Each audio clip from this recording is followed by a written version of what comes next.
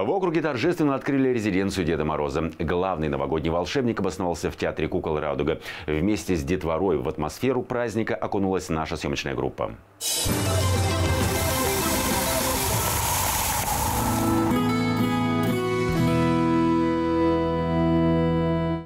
Театре кукол резиденцию открыли впервые, но ко встрече с зимней сказкой все готово. Ребят ждали мастер-классы по изготовлению елочных игрушек и новогодних масок, игры в снежки и веселая эстафета, украшения пушистой и лесной красавицы. Она очень красивая. Подготовили и интерактивную программу с участием сказочных героев. Новогодние представления в игровой форме здесь будут проходить до конца декабря.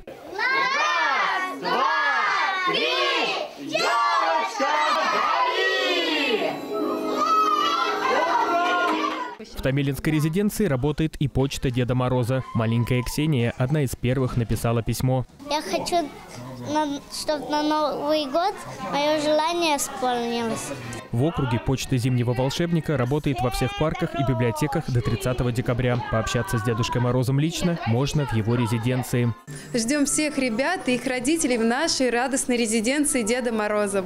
До последней недели декабря мы работаем четверг, пятница, суббота, воскресенье. На территории округа будут работать еще две резиденции – в Центральном парке культуры и отдыха и парке Наташинские пруды. Богдан Колесников, Сергей Гвоздев, телеканал ЛРТ.